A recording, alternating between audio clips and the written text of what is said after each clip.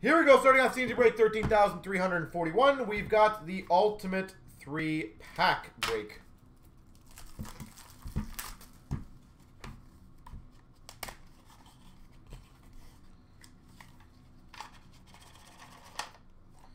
We start off numbered 11 of 20, Guy Lafleur. Uh, Channy probably, I gotta look, one or two more breaks away.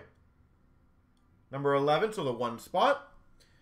Numbered one of five. Cup Heroes patch of Jari Kurri. The one spot yet again. One spot. And we've got numbered 8 of 10, Future Stars autograph patch of Sam Reinhart. 8 of 10.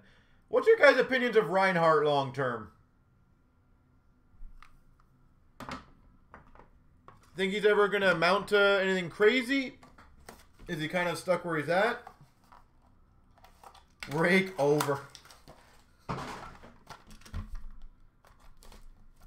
And J2, let me know if there's anything else you want to uh, try tonight. You can obviously feel free to text me if you want.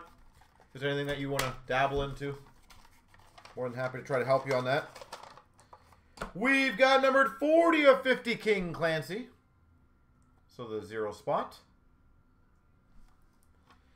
Numbered 13 of 15. So three spot. Quad mem of Gordie Howe, Harvey Beliveau, and Sawchuk. Because he was a he was a decently high pick, was he not? Reinhart or no?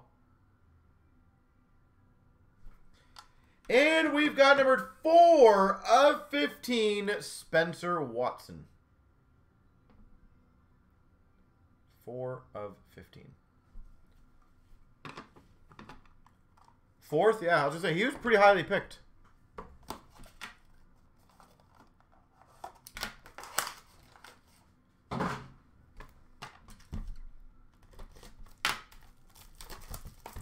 I honestly I like Batherson.